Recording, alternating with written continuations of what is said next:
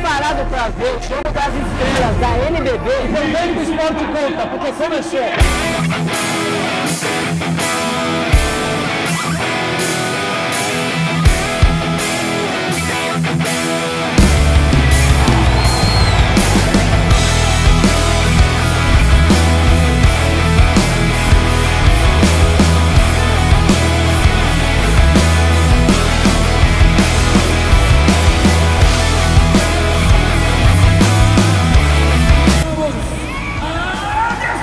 Será que eu vou acertar, ó?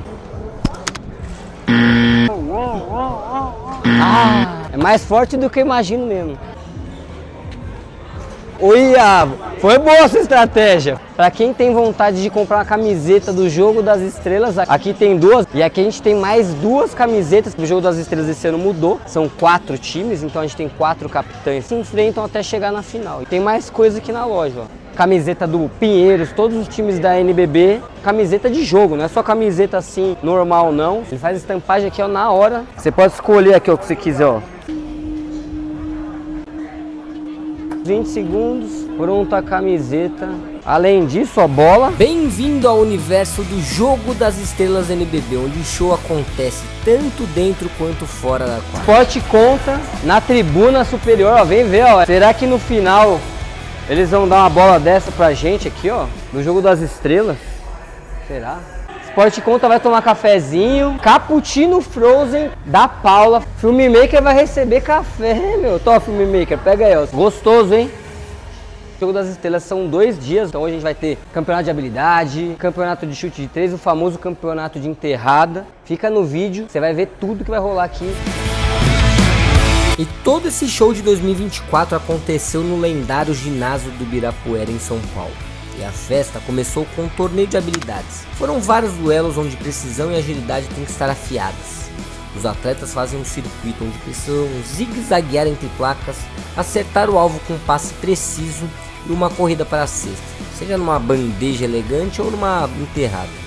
E por fim, um arremesso de três pontos que decide tudo. No final desse primeiro espetáculo, Franco Barali, do Minas Tênis Clube, foi o grande campeão, superando Felipe Mota. E ainda no Jogo das Estrelas, o hilário pior jogo do mundo com o time de Rodrigo Góes, o fake Nery da internet.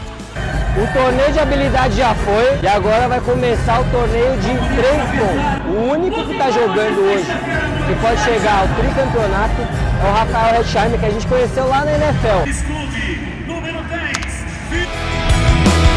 Tivemos o torneio de arremessos de 3 pontos, que trouxe à quadra 10 atletas. Cada acerto vale um ponto, mas com as bolas especiais vale 2. Entre eles, Juninho, da seleção brasileira de basquete em cadeira de rodas. Mas foi Trevor Crosby Gaskins, um jogador americano da Unifacisa, que arrebatou o título, gravando seu nome na história desse emocionante torneio. O campeonato de enterrada começou já fervendo. O cara pulou uma moto logo na primeira enterrada e já levou. Vamos ver se o campeonato de enterrada brasileiro se vai superar o jogo das estrelas americano. E o campeonato de enterrada sempre se destaca como um dos momentos mais esperados. Desde 2018 o formato foi renovado, com apenas uma chance por rodada, cada atleta lança-se ao ar em busca da perfeição sob o julgamento do júri. Nesse torneio, 11 atletas já foram campeões. É isso, agora a final teve Spider-Man, teve pulando filho. E agora vamos ver quem vai levar essa no torneio de enterrada.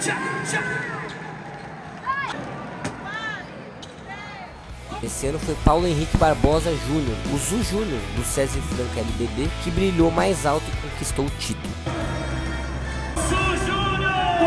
Primeiro já acabou, ó. Renan, sai do show do Rei Leão e vem me ajudar aqui ó, na quadra. O pessoal me chamou aqui, parece que eu vou jogar o jogo das estrelas. No segundo dia, já com meu parceiro Renan, pudemos ver uma das novidades, que foi a introdução de uma quadra de pickleball, onde aprendemos um pouco das regras e praticamos esse esporte. Além disso, uma quadra de basquete 3x3 externa se tornou palco de competições sob a chancela da Associação Nacional de Basquete 3x3. Então se iniciaram os embates, primeiro entre os times brasileiros de André Góes e Elinho Coraza, onde a equipe de André se destacou garantindo a vitória. Logo após, o jogo entre o time Mundo, sob a liderança de Larry Taylor, e o time Novas Estrelas, do Capitão Márcio. Nesse confronto, foi o time de Márcio que se sobressaiu, onde a juventude prevaleceu. Após esses dois jogos, o evento fez uma pausa para um espetáculo de cheerleaders, e além disso, o grupo Exalta Samba subiu ao palco, animando o ambiente com seu show musical. Como o esporte conta, faz de tudo pelo conteúdo, estamos aqui ó, na frente do show. Esse cara que agora é um fenômeno, salve! Já joguei muito contra ele. Verdade, São Paulo é underdog. Eu acompanho o canal desse cara desde quando ele começou. Esse cara merece estar onde ele está hoje. Pô, valeu. Como que foi essa experiência? É uma parada que o Caio fala, loucura misturada com maluquice. Chega no outro dia, a galera acorda a gente e fala, ó, hoje a gente vai no treino de não sei quem, vamos fazer não sei o quê e depois nós tá na quadra. É, quando a gente vai assim nos times menores, entre aspas, os caras dão muita atenção. Mostrar o Utah Jazz, mostrar o Wizards. Vai começar a final. Aqui pertinho da quadra, ó. Esse jogo promete, hein? Parece que o pessoal não quer perder, não.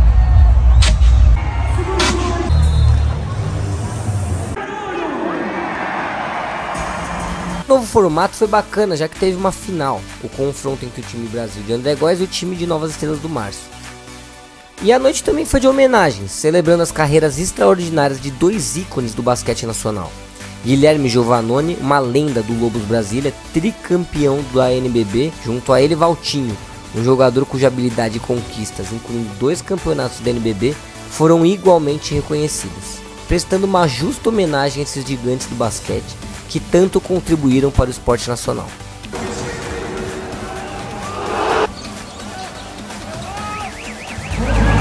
Duas coisas que você quer saber nesse vídeo. Está lotado, de gente. Será que o jogo é disputado? O jogo está empatado, faltando um minuto. E tá pegado. O pessoal não quer perder, não. Olha aí como tá o negócio. Se liga o toque que rolou agora.